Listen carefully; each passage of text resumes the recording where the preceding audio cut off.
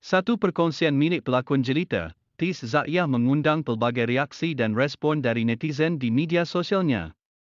Pelakon ini memuat naik gambar dan video yang memaparkan ulat roti dalam makanan di Instagramnya. Makan ulat roti, melihat hantaran Tis dengan caption ringkas di media sosialnya membuatkan orang ramai tertanya-tanya sama ada aktris tersebut benar-benar memakan ulat tersebut. Midnight Snake, emoji cacing, bolehkah anda letak beberapa dalam mulut?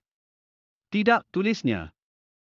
Rakan artis dan netizen tergamam, perkongsian tersebut mencuri perhatian rakan artis dan orang ramai di media sosialnya. Ramai yang gerun dan tergamam melihat posting tersebut, sebenarnya Tis tidak makan ulat roti tersebut. Sebaliknya gambar dan klip video yang dikongsikan itu adalah sekilas gambaran babak lakonannya untuk telemovie Sakana yang bakal ditayangkan pada hari raya nanti di TV3. Melihat babak yang dikongsikan buatkan ramai yang teruja nak menonton lakonan Tis akan datang ini.